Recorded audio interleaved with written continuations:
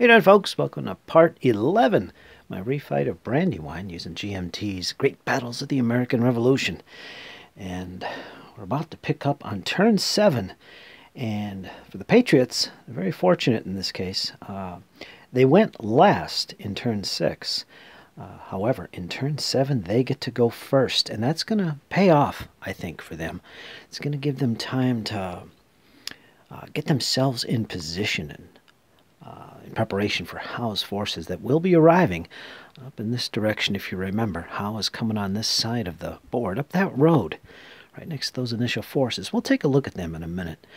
But uh, one thing I plan to do this turn, if we look down here, where Greene's forces are assembled, uh, he's currently doing a fighting withdrawal, uh, getting across after a kind of a petered out counterattack crossing the to the western side of the Brandywine, uh, I've decided to pull him back, and I could make better use of his troops that way. He did take a considerable number of troops with him. Um, so we're in the midst of doing a fighting withdrawal here. I think I can get all of his units safely across to the eastern side of the Brandywine this turn. I think I can. Uh, yeah. This, you can't you have to stop moving when you enter the zone of control of an enemy unit, and that is adjacent to this stack of enemy units. However, uh, zone of control does not extend into woods, so Grant here does not have a zone of control in here. He doesn't have to stop if he moves here, this guy. So he can continue on, get to the ford, and get across. Uh, We'll see how that works out. But that is the goal here. They're giving up the heights. Maxwell and some of his troops have been captured. The position has effectively been taken, even though it's actually vacant at this point. And Knyphausen is right here, he's about to advance into that position. But that's all for nothing because, you know, the battle isn't going to take place here. It's actually up here uh, at this ford. And this is Chad's Ford. And this is their objective, the British and the Patriots as well. Patriots currently hold it. It's Proctor's uh, battery position, and it's a reinforced, uh, got some earthworks here, uh, position. And Wayne himself is currently in here. He's got a battery of guns and a couple units in there as well. And they want to hold on to this for the remainder of the battle. So the Patriots want to get Greene's troops safely across. Uh, and continue holding these two forts. Because I'm sure Knyphausen's going to be moving forward to try and take those positions, maybe even cross up here, although that's going to be uh, desperate fighting for the British, I think. It's not going to be easy if they do just cross through this wooded area with no uh, easy crossing points. There's no fords along this section. There's some secondary fords here. Uh, we'll see. When we get to the British, that's when we'll think about what we're going to do. But Patriots are going to pull their troops off and shore up these defenses. Uh, in addition, we take a look at Stirling's force uh, further to the north of the Brandywine. This is Stirling's position here. He has occupied the Birmingham Manor House, or not the Manor House, the Meeting House. He's got a good defensive force in there. Uh, the Patriots in this turn, I think, are going to get a little bit aggressive. Uh, put some hurt down on these light forces of the British that have already advanced forward along the road here, the Forks Road. Uh, they're going to try and engage some of these initial units and do as much damage as they can uh, to the British, hopefully boosting their army's morale. The Patriots need a boost in their morale. Right now they're at 9 uh, in army level, which is in the fatigued zone. The British are in the high morale zone. So I got to work on building that morale up as much as I can. I do want to get aggressive here, uh, take advantage of some local advantages, and engage these troops and see what happens. And also, I want to engage Howe's initial forces as quickly as possible, as far away from the meeting house as possible. So that's really what I intend to do in this turn. So we'll probably start seeing some fighting up in this area in this turn. And while we're talking about Army morale, let's take a quick look at that. Uh, this is the Americans' current position. As I said, it's number nine on the morale check, morale track for the armies. That's not good, and this is mostly the result of a lot of failed combats uh, on Greene's behalf. Uh, the British, on the other hand, went up. They are up here at 21. They're maxed. And as a reminder, being in the fatigue zone means that all Patriot units, their morale is negative 1. So whatever's printed for their morale on their counter, it suffers an additional negative 1 penalty. So that's not good. In addition, they have no initiative modifier. Normally, when you're high morale, you get a plus 1 to gain initiative. So the Patriots are quite fortunate uh, to gain initiative this turn. It was some good rolls there. In the, the British, if you remember, used uh, a momentum chip to get a plus 2 on their initiative, on top of their already bonus of 1s. They had plus 3. They failed that roll. So that was interesting. Very fortunate for the Patriots. They do need a turn of events here soon. Uh, otherwise, their army could just give up the field and leave the battle uh, because of this and the British would have a substantial victory. But both armies are going for a decisive victory. British going for uh, or the road to Philadelphia, and the Patriots attempting to hold both Proctor's battery position and the Birmingham Meeting House uh, further up there. You can see the meeting house is right there. So this position and that position the Patriots are after, uh, as well as the British. So let's get into this. I'm going to get into the movement and we're going to do some rallies as well. As you can see here, there is a Patriot unit to rally here. Uh, that'll, if I rally them successfully, that'll boost the morale of the army. And there's one more unit under here that I have to attempt to rally. Uh, but of course, movement is first, and disrupted units have a maximum of one hex movement. So we'll see how far I get with these guys, and I do want to pull back these guys from this position and set up my defenses. So let's get into that and I'll show you the results. Alright, so there we go. Uh, I did the movements and I did the rallies. And unfortunately, the Patriots cannot rally this unit. It had a better chance than the second unit, which was behind it. But it failed. And I think it rolled a 3. Uh, it had a plus 1, minus 1. So, yeah, it needs to roll above a 4. So, it's still disrupted. This little stack here, he's in there somewhere. But the unit behind him in this hex here did rally. It was one of these two here. I think it was this one. The old 11th. I'm not sure. But it did rally. So that did help the morale. The armor morale of the Patriots went up to 10. Went, went up plus 1 basically. And as far as movement is concerned, as you can see, I managed to get all those troops across to the eastern side of the Brandywine. All as well. Uh, Greene is still engaged with a strength 6 unit uh, lined up with Grant at the ford in this case. So there's going to be fighting on the ford. Uh, the Patriots also reinforced this position to Greene's left on the flank there, so there'll be a little bit of extra uh, fighting capability. Unfortunately, it's not advantageous to be fighting across this Brandywine Creek, but we do have the fort. So we'll see what comes out of this when we get to close combat. We'll talk about that. Uh, what else went on? Of course, there was some more shifting from Washington's position. Uh, he hasn't actually moved, but I did throw forward the North Carolina Regiment, which don't have the best morale to negative one. Uh, but it is a strength 5 unit, and I'm sending it on its way to Dilworthtown, uh, basically to support Stirling. I'm really getting concerned about Stirling's force, and uh, let's take a look at Sterling, in fact. And there he is. And after moving these guys forward, uh, yeah, there's not a whole lot of troops here. Howe has a huge force coming onto the board in the next turn. Uh, well, not the next turn, this turn. This is turn 7. Uh, but it's a considerable amount of troops which are going to be coming on this road area here. Uh, whether he brings them all on or not, we'll see. But uh, getting a little concerned. It's not a lot of troops under Stirling, but you know what? All we have to do is hold on to Birmingham Heights and hopefully not take a lot of casualties. And we'll see. I'm trying to engage uh, the initial forces right off the bat because these are the easier troops to deal with. We got some rifle armed Jaegers in here, some dragoons, which I've matched with my own dragoons. We'll see if they withdraw or not but this stack here, which is some light troops, including rifles, is being engaged by my infantry and rifles. You'll see that. And one thing I should point out, I did make a mistake with the Patriots. They had at least a couple rifle-armed units, and I forgot to mark them with this counter here, the first fire marker. So basically what I'm doing is to balance that slightly.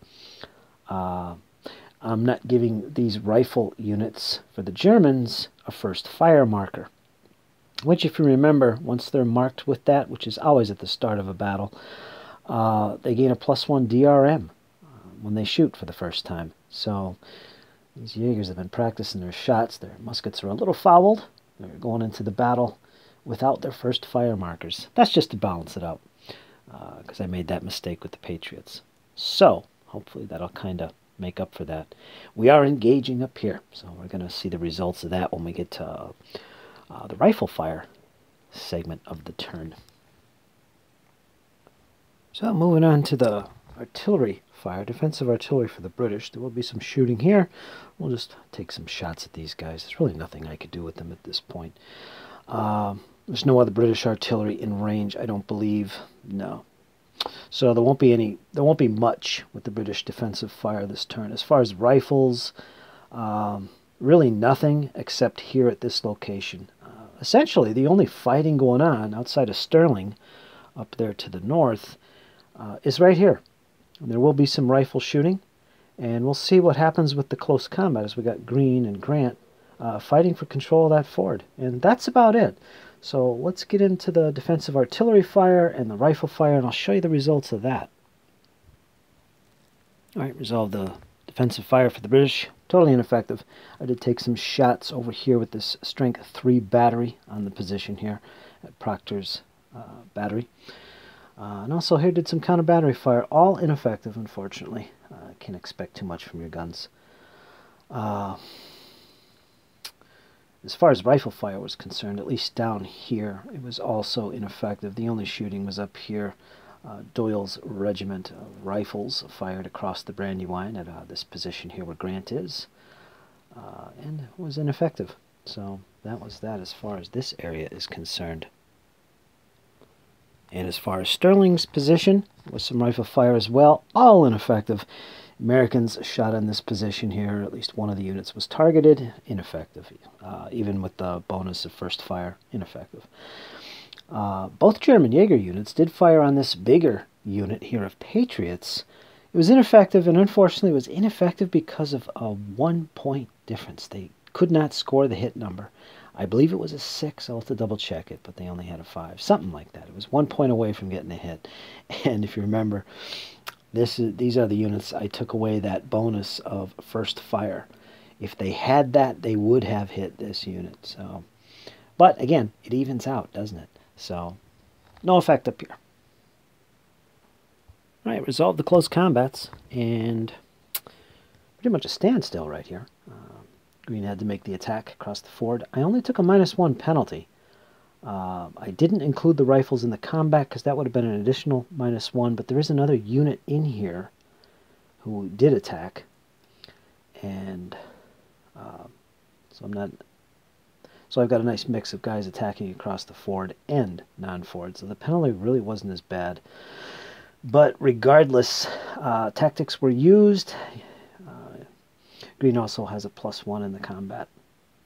His combat leadership. And tactics were, I think both sides picked a commit reserve. And that was it. So there was nothing else to go going on here. It was undecided. Um, however, the result went did actually go against the Patriots. I should correct myself. This unit was reduced. This was the old red trouser unit I was talking about before. Second Pennsylvania Brigade. They went from strength six down to strength three.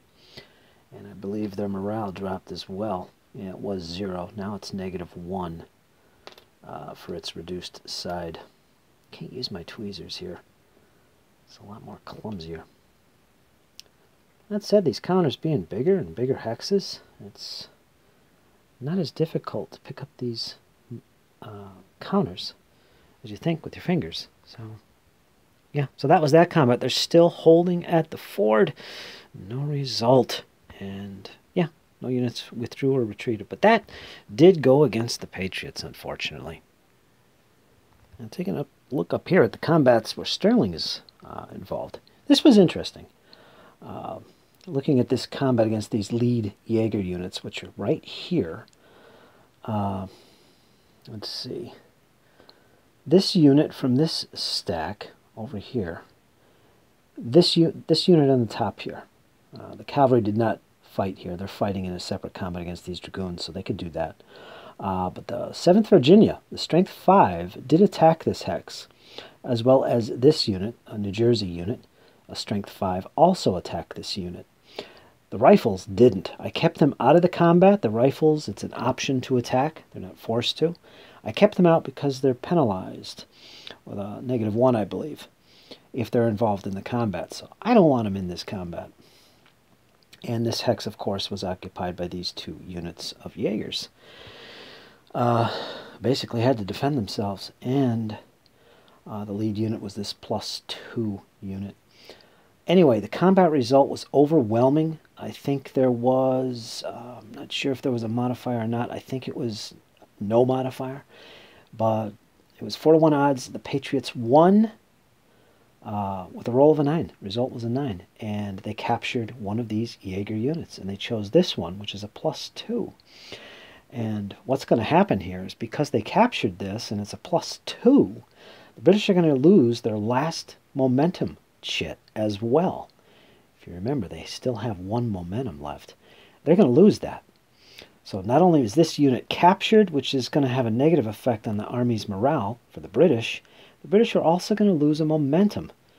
Uh, this unit had to pass a morale check, uh, which they did, and the result of that was they retreat one hex. So they're going to fall back into this hex right here, where the chasseurs and amusettes are located. They're not overstacking by doing so.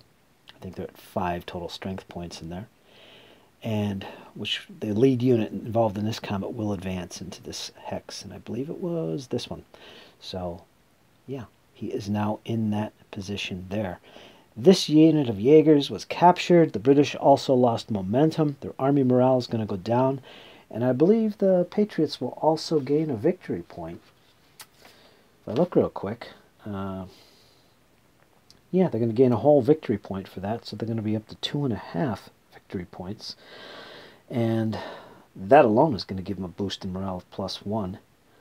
Uh, yeah, so that's the combat so far. Now we're going to resolve the combats here and here. Uh, these are going to be this is going to be a cavalry battle, and I'm not sure if the British are going to withdraw, but I'll show you the results of that and what I decide to do. And that's that. I fought these remaining two combats. It was basically this uh, Queen's Light Dragoons, the first Queen's Light Dragoons, going against, uh, forget what unit that was, but he can tell it's gone. It basically took a step loss. It was eliminated because it was a one-step unit. There was nothing on its reverse side. It was eliminated. So the Queen's Dragoons were successful. I believe it was one-to-one -one odds, but it had a negative two modifier to the die roll. Uh, the Patriots rolled horrible. I think they rolled a one or something, but it, it, was bad. And this combat up here was also fought. You can see the results of that. There was two Patriot uh, horse units up here. One was a one was uh, eliminated. It got a, a step reduction, and it's a one step unit. So like here, it too was eliminated. Um, and this unit failed its morale and it fell back. So, yeah, that was the situation. The Patriots took a big hit to their army morale. They're dropped down to 8 currently. The British are at 21. So, yeah, this little attack here with the cavalry was, was horrible. Went bad. I should have looked at that a little bit closer, I think. I wasn't paying attention. There was some uh, penalties there. It was not in the favor of the Patriots. I think this combat up here had negative two to it under a two to one odds in favor of the Patriots, but a negative two. And this one was a total of a negative, uh, two as well. And it was one to one odds. Unless I screwed up there with the numbers. I think that's what it was. So, uh, fortunately, they still hold this position with the 7th Virginia Infantry. And this cavalry unit fell back. It survived. And yeah, so that was the combat fighting up here. limited success for the Patriots. They gained some success here, but lost in the cavalry fighting over there in the fields. And yeah, let's take a look at the battlefield so far. So there we are, limited success for the Patriots. I think the best thing they achieved this turn was just getting their troops back across the Brandywine on the east side. Uh, all the other combats were pretty much a standstill. Only Stirling up top here, only Stirling's infantry up there um, had some success at capturing a, a Jaeger unit and forcing the other Jaeger unit to fall back. So there was some success there. Uh, the morale level, as you can see, uh, the Patriots are down to 8. Uh, once they drop below 6, in the, the 1 to 5 zone, they are in the reds. They're in the wavering zone, and that's not good. Uh, that'll be a minus 2 to units morale and their initiative will suffer a minus two. So that's not good for the Patriots. Uh, all right, folks, this is going to complete uh, the American segment of turn seven. The next turn is going to be the British, and they're going to be bringing on Howe's main force. Of course, there they are. Uh, basically, these two rows. Uh, we're going to flip this to the British side of turn seven. And all these guys, I got them stacked in their nationality and troop types uh, groups here. Uh, all these guys and all these guys will be entering the battlefield. Of course, we have Howe and Cornwallis. Uh, we also have some rifle units, which I've marked. Well, no, there's nothing there. Those are my first fire markers to remind me so I don't forget to place them. Uh, I believe there's some rifles. Yeah, right here we got some Jaegers. And I think that's it. Uh, the rest are just German units. Uh, some grenadiers.